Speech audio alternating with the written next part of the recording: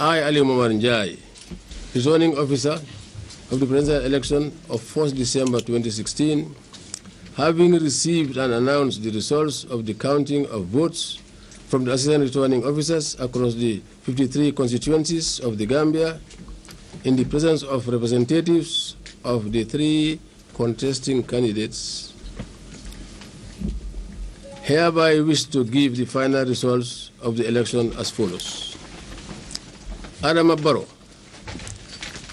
265,000 260,515 votes. 263,515 votes. Sheikh Professor Alhaji Dr. Yahya A.J. Babili Mansa, 202,000, 212,099 votes. 212,099 votes. Mama Kandeh, 102,969 votes. 102,969 votes.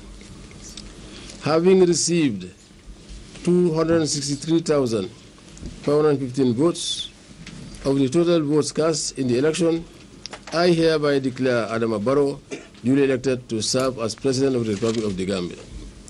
Signed Alieu Momar Njie, 2nd December 2016.